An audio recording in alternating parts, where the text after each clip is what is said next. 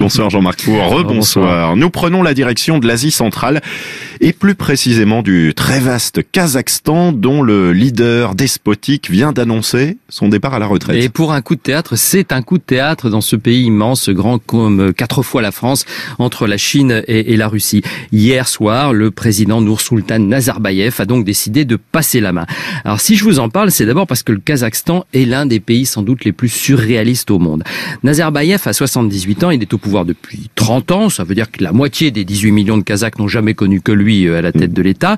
Et cet ancien apparatchik de l'Union soviétique a progressivement concentré tous les pouvoirs sur ses épaules en développant un incroyable culte de la personnalité. Je vais vous livrer un seul exemple pour vous faire comprendre. Il a fait sculpter une empreinte en or de sa main et cette empreinte est conservée dans un globe au sommet d'un gratte-ciel. Voilà, tout, tout est dit ou à peu près.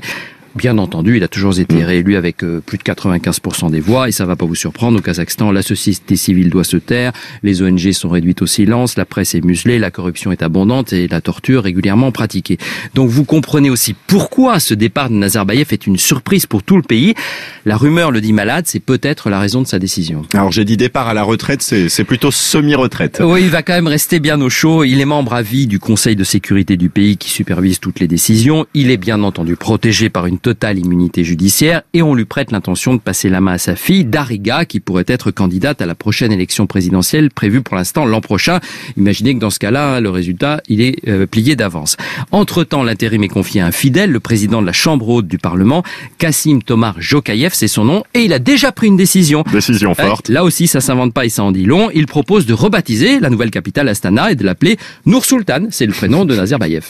Le Kazakhstan, euh, Jean-Marc, en, en termes géopolitiques, Oui, c'est important pour deux raisons. D'abord, c'est un pays avec un sous-sol très riche, beaucoup de pétrole, de gaz, d'uranium, avec la présence de nombreuses multinationales, par exemple les Français Total ou Alstom. Et comme souvent, pareil cas, la rente n'a que peu profité à la population. Un Kazakh sur deux, à peu près, vit sous le seuil de pauvreté.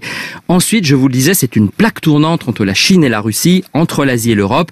Et Pékin veut en faire une des principales portes d'entrée de son grand projet commercial, les nouvelles routes de la soie. Donc, vu d'ici, ça paraît loin, le Kazakhstan, mais c'est l'un des endroits de la planète où se décident sans doute les grands équilibres stratégiques de demain. Un monde d'avance, c'était Jean-Marc Four.